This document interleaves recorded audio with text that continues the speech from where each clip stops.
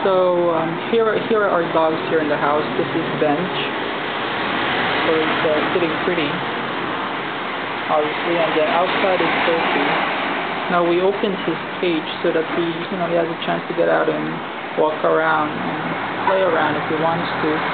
Now what I find interesting here is every time I go outside, he would go back in his cage, which only shows that he's somehow scared of me. So now he's in his cage because he saw me going out. Tofi, you want to go out? Tofi, Tofi, your cage is open. You can come out if you want. You want to come out? like scared of.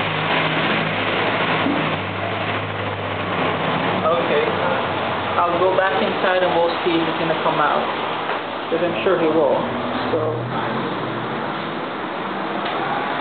I'll that I'm staying in for now. We'll see if it's gonna go up.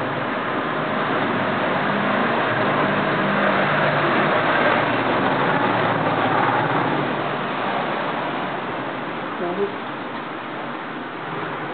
he's not doing anything. He's not moving or anything.